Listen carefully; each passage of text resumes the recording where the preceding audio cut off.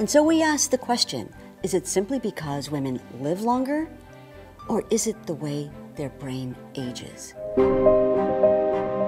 We think that women have a greater risk because of the aging process is unique to women. So there's, there's something specific about the female brain and how that brain is aging that puts her at risk.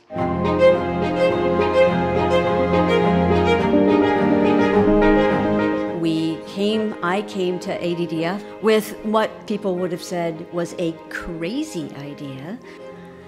And that crazy idea was that the degenerating brain could actually regenerate itself.